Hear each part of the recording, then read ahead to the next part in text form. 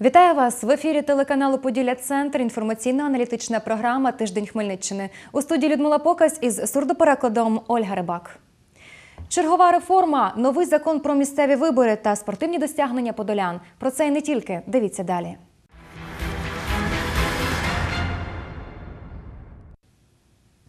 На часі ще одна реформа. Цього разу зміни чекають на Державну службу зайнятості. На її базі до кінця року планують створити Національне агентство зайнятості. Про це на зустрічі із представниками влади та підприємцями області розповів її голова Ярослав Кашуба.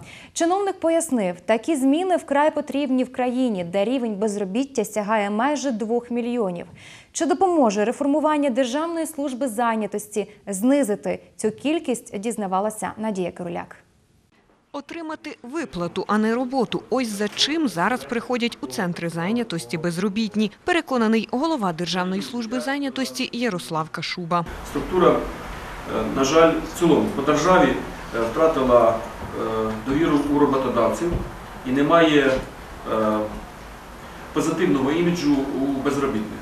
Маю надію, що Верховна Рада України до кінця цього року прийме відповідні рішення і з 2016 року у нас буде створено Національне агентство зайнятості. Чиновник обіцяє, зміниться не лише назва структури, а й її функції та принципи роботи. Першочергово новостворене нацагентство робитиме короткостроковий аналіз ринку праці, на основі якого створять постійно оновлювану єдину електронну базу вакансій. Такі дослідження в Україні зовсім не проводяться. Звідси й натовпи випускників юристів та економістів, які щороку поповнюють лави безробітних та нестача спеціалістів технічного профілю. Також особливу увагу приділятимуть молоді віком до 24 років.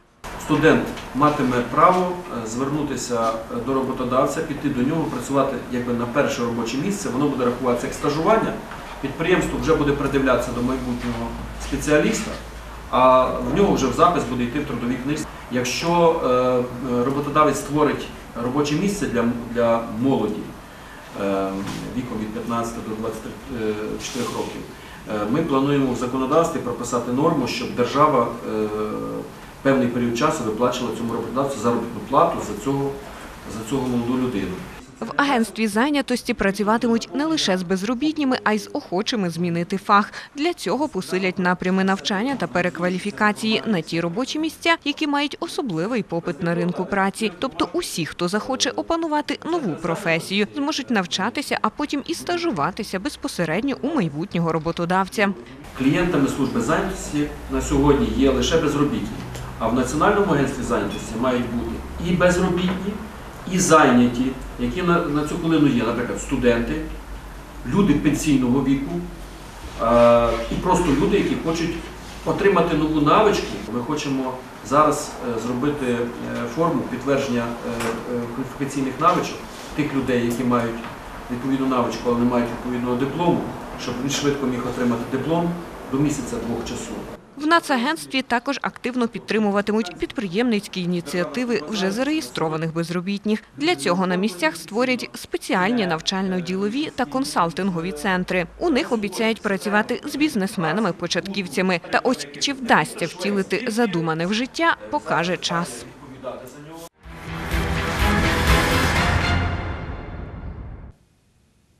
Верховна Рада прийняла закон про місцеві вибори. За відповідне рішення проголосували 257 народних депутатів. До другого читання законопроекту було підготовлено більше півтори тисячі поправок. Які з них народні обранці затвердили, а які не підтримали, далі у сюжеті. Законопроект пропонував надати право участі у виборах тим політичним партіям, котрі зареєстровані за 365 днів до виборів. Однак під час обговорення це положення було вилучене із тексту законопроекту. Згідно із законом, вибори на окупованих територіях Донбасу та в Криму у зв'язку з агресією Російської Федерації 25 жовтня проводитися не будуть. Крім того, профільний комітет підтримав пропозицію щодо вилучення з переліку суб'єктів виборчого процесу виборчих блоків. Також законом передбачається гендерна квота серед учасників виборів. Це означає, що має бути 30% жінок, висунутих кандидатами у депутати. Йдеться про не менше як 30% представників однієї статі. У комітеті виборців України вважають новий закон кращий за старий. Прийнятий закон про вибори е, про місцеві вибори все-таки є кращим за попередній. Перший очевидний плюс це вибори е, міських голів великих міст у два тури. Це практично е, змішає карти міським головам великих міст, обласних центрів, тому що, хоч вони і можливо мають якийсь антирейтинг, е, в другому турі він може зіграти з ними злий жарт, і не завжди вони можуть пройти, якщо буде два тури. Друге, це результат е, виборів становиться за партійним рейтингом. Навіть якщо мажоритарник і роздавав, наприклад, достатню кількість гречки, то він може, е, то він гарантовано проходив. А тепер, якщо він е, його партія не проходить, то навіть якщо він отримує перемогу, то він не стає депутатом.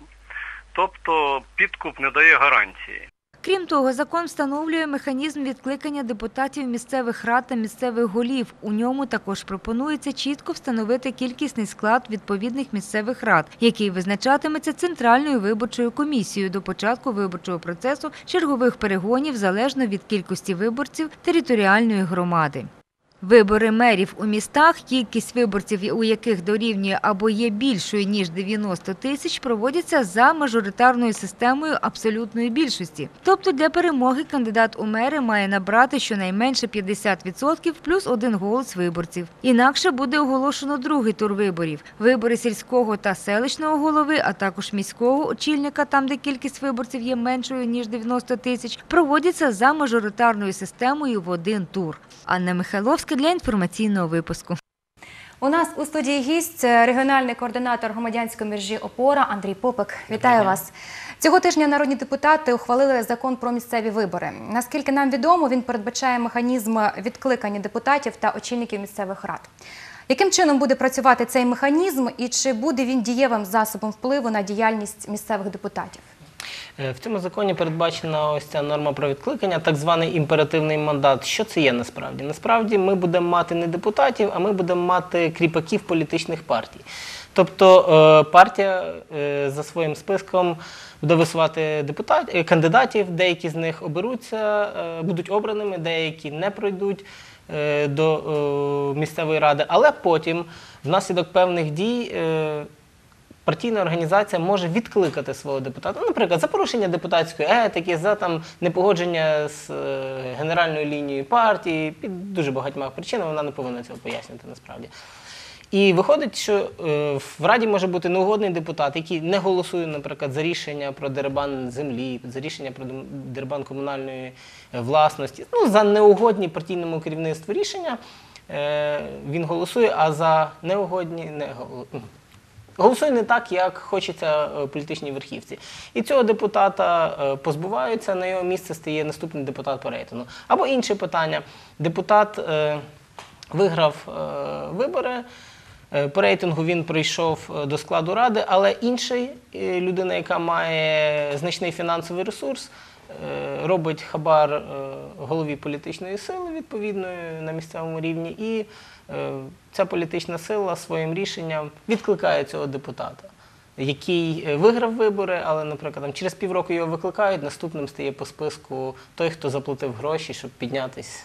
Тобто ми будемо е, ми будемо е, мати такий механізм, що не виборець впливає на відкликання депутата, а е, саме партійний осередок. І партій, по суті, от обрані кандидати, об- депутати обрані, вони будуть заручниками свого партійного осередку. Вони не зможуть мати самостійну позицію. По суті, ми в е, міській раді, наприклад, будемо мати не 38 депутатів, а 4-6 е, голів осередків з карточками. У одного буде карточка на 10 депутатів, у одного на 5 депутатів, у одного на 6. Тобто він може дати за цей законопроект 10 голосів, е, той 5, і вони будуть кооперувати, знаєте, як скинутись на більшість. А скажіть, будь ласка, цей закон також передбачає гендерну квоту серед учасників виборів. Що це означає?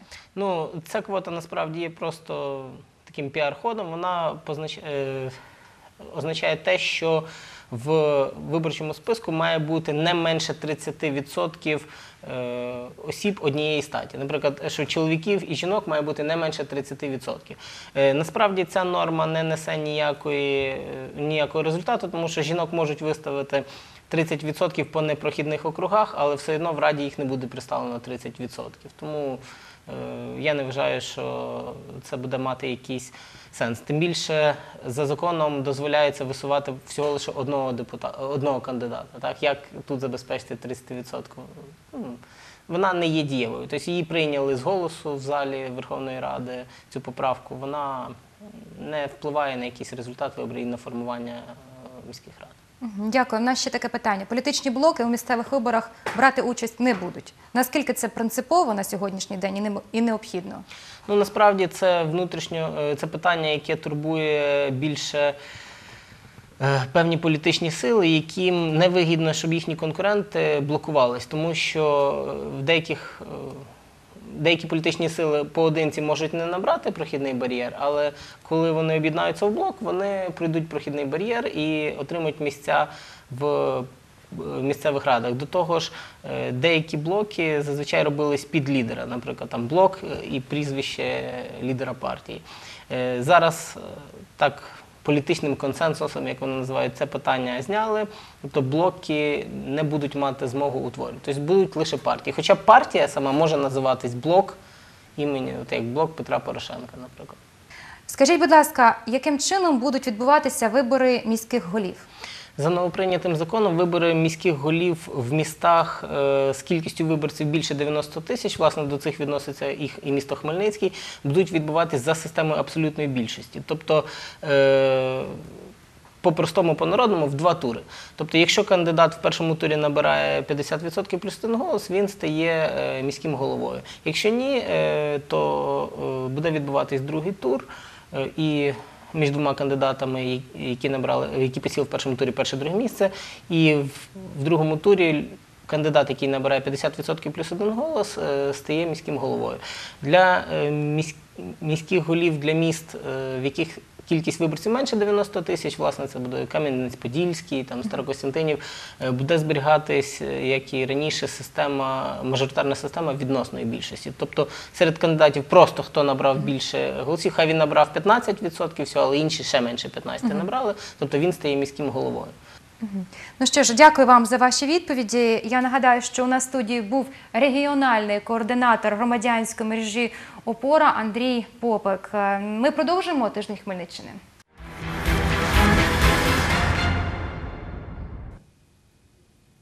У Кам'янці-Подільському відбувся перший відкритий міжнародний фестиваль Опера в мініатюрі.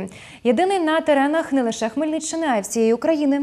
Протягом дев'яти днів у місті над Смотричем звучали музичні твори та оперні арії українських і світових класиків. В останній день фестивалю послухати класику можна було під відкритим небом на водойомі Гунські криниці. Опера в мініатюрі одна із тем цього тижня. Далі коротко про події семи днів.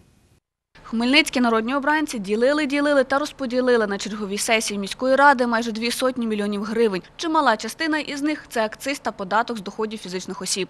В цьому бюджеті 43 мільйони спрямовуються на забезпечення індексації заробітної плати бюджетної сфери. Крім того, передбачається забезпечення можливого дефіциту по енергоносіях в зв'язку з збільшенням тарифів. Бюджет розвитку також отримав додаткові вливання. На капітальні видатки в цілому передбачили 90 мільйонів. Це реконструкція Чернелівки має дати державний бюджет 25 мільйонів. Крім того, великий дуже на 6 мільйонів 700 проект е, реконструкції, розширення реанімаційного відділення міської лікарні. Не обійшлось без питань земельних. Йдеться про надання дозволів на багатоквартирну житлову забудову в одних мікрорайонах та відмову в інших. Депутати стверджували, вони на боці громадської ініціативи.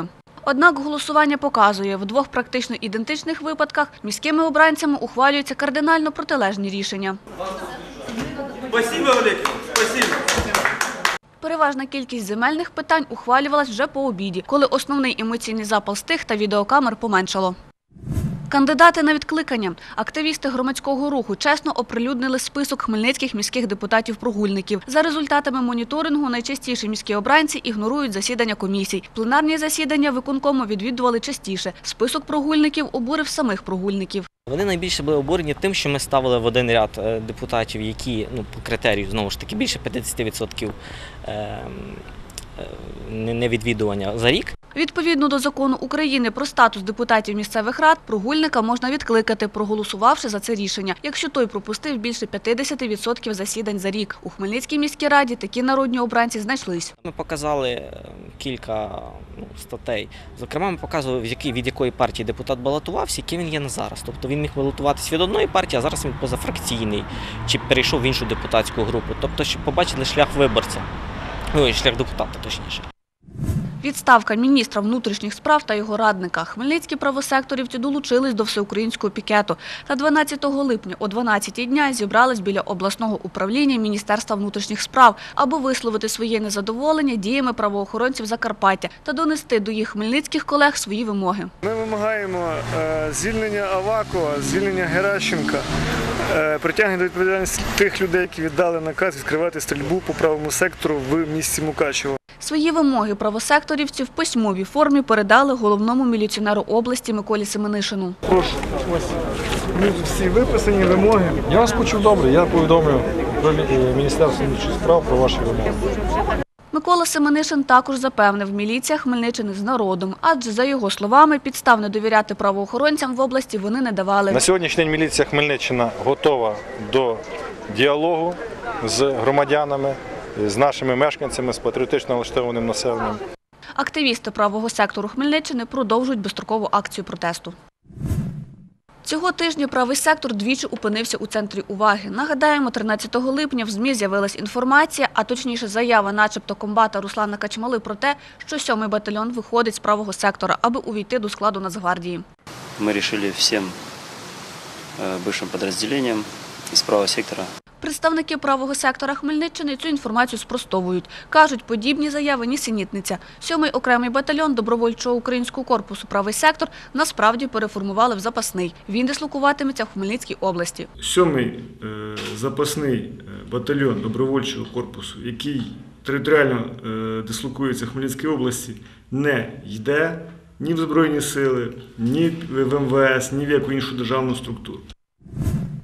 Цього тижня страйкували військовослужбовці 7-го батальйону територіальної оборони Хмельниччини. В день 14 липня бійці перекрили рух транспорту на Старокостянтинівському шосе.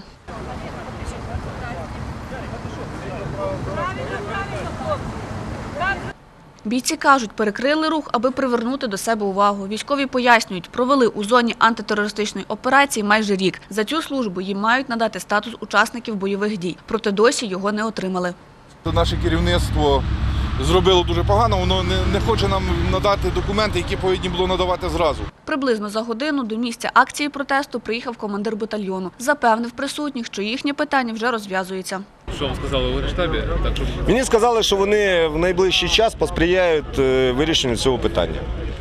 а треба якийсь наказ, який саме? Да, е, необхідний наказ е, штабу АТО для того, щоб людям почати, скажімо, видавати ці посвідчення і відповідно нараховувати гроші. Бійці обіцянками командира не дуже задоволені, проте погодились почекати на позитивний результат. Якщо ж їм не нададуть статусу учасників бойових дій, акції протесту будуть повторювати.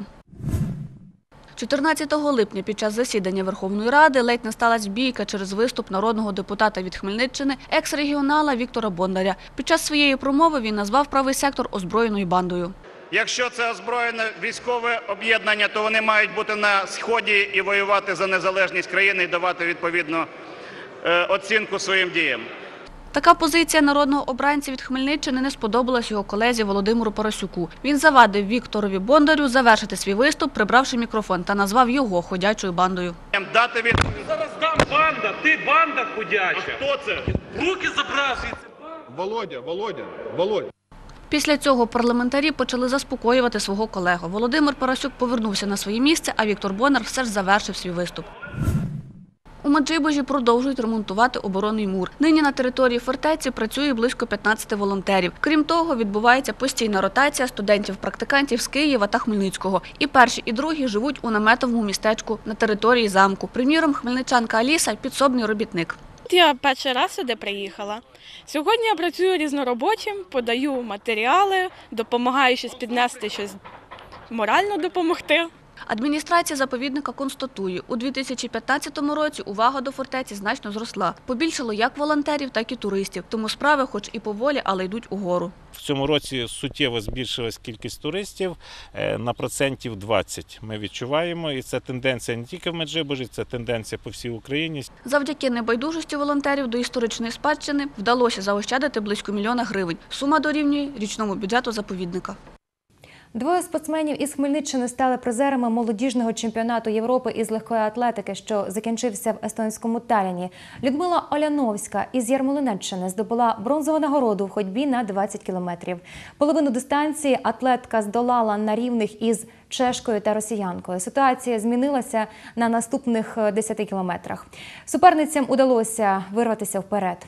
З результатом 1 година 28 хвилин і 41 секунда Людмила Оляновська фінішувала третьою. Вікторія Калюжна із Полонного виграла бронзу на дистанції 5 тисяч метрів. Цю відстань дівчина здолала менше ніж за 16 хвилин, чим встановила національний рекорд України серед молоді. А я нагадаю, що телерадіокомпанія Поділя Центр запустила нову версію свого офіційного сайту. Наша сторінка в інтернеті стала не просто зручною, а повністю змінила своє обличчя. Відтепер більше новин, більше корисної інформації та можливостей спілкування із вами, шановні користувачі. Адреса не змінилася: www.odtrk.km.ua Цією інформацією ми завершуємо тиждень Хмельниччини. На все добре.